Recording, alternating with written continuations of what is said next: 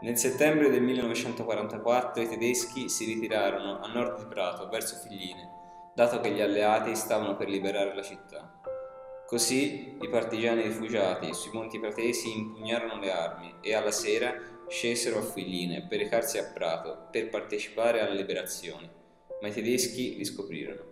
Scoppiò un conflitto a fuoco e data l'inesperienza i partigiani vennero decimati.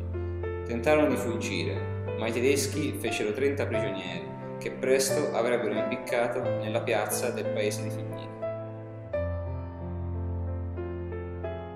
I nazisti decisero di fare un piccolo rastrellamento della zona e presero tutte le persone che trovarono a giro. Furono portate a Villanocchi, che è una villa qui all'inizio del paese di Figline, dove c'era il comando dei nazisti. Gli fu fatto una specie di processo.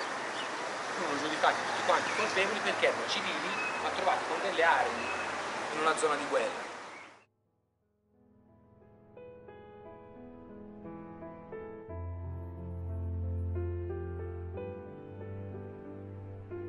e presano tutte queste travi, si dice che faranno, si pensava tra noi che faranno.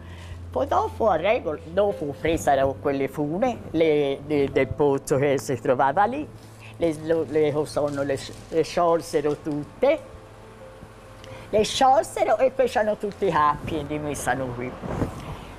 Poi io quando vidi che che, che, che, questi ragazzi, ma faccia alla finestra e vidi questi ragazzi tutti allineati al muro della Bardena, pensai di sì, loro li impiccano.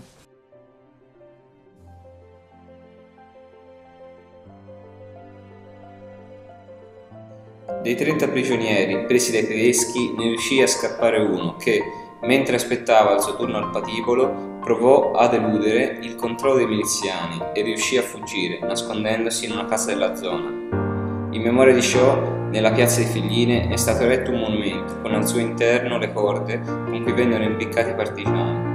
Alla base del monumento sono poste delle strisce di marmo sul suolo, una più lunga delle altre, che rappresenta la fuga del giovane partigiano.